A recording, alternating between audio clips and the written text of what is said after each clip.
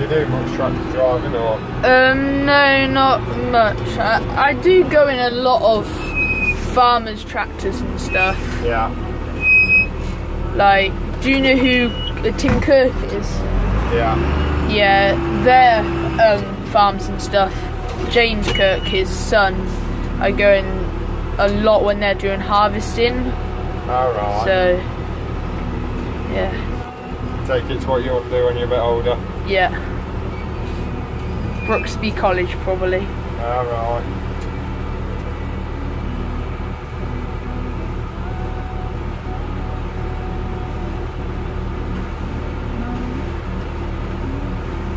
Right, I'm going to drop my trailer off.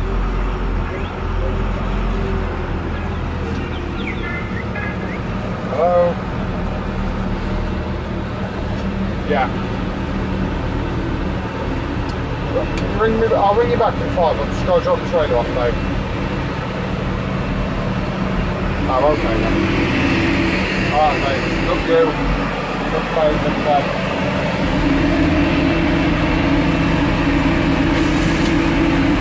Well, let me jump out then. I'll drop the trailer off.